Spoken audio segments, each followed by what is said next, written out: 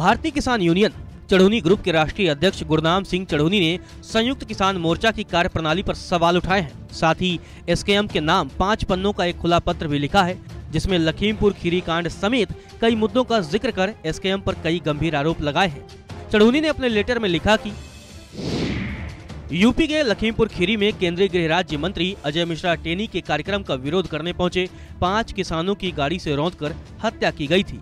लेकिन इस हत्याकांड में एसकेएम ने किसानों को गुमराह किया, क्योंकि वो जब पंजाब से लखीमपुर जाने लगे तो मेरठ से उन्हें गिरफ़्तार कर लिया गया। पुलिस ने साफ़ कहा था कि लखीमपुर खीरी तक न पहुँच देने के सख्त आदेश हैं, जबकि राकेश टिकैत समेत अन्य नेताओं को ही लखीमपुर खीरी तक पहुँचने दिया गया। उन्होंने गृह राज्य मंत्री अजय मिश्रा टेनी को केंद्रीय मंत्रिमंडल से बर्खास्त करने के अलावा अजय मिश्रा और उनके बेटे समेत अन्य हत्या आरोपियों की गिरफ्तारी न होने तक शहीद किसानों का अंतिम संस्कार न करने का आग्रह किया था। लेकिन उनकी बात नहीं मानी गई। यहाँ तक कि चढ़ूनी की गिरफ्तारी के बाद उनकी रिहाई के लिए भी एसकेएम ने कुछ नहीं किया, जबकि भारतीय किसान यूनियन चढ़ूनी ग्रुप को अपने संगठन के बलबूते पर रोड जाम करने की कॉल देनी पड़ी, जिसके बाद चढ़ूनी को रिहा किया गया, जबकि आंदोलन एसकेएम तुरंत ऐलान करता रहा कि पहले चढ़ूनी को रिहा किया जाए और बाद में लखीमपुर में कोई बड़ा कदम उठाता।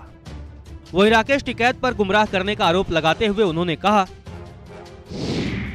राकेश टिकैत समेत अन्य नेताओं ने बताया था कि सरकार ने मांगे मान ली हैं, जबकि ये सफ़ेद झूठ था क्योंकि उससे पहले किसानों के खिलाफ धारा 302 का मुकदमा दर्ज किया जा चुका था। इसे देश के किसानों से जानबूझकर छुपाया गया।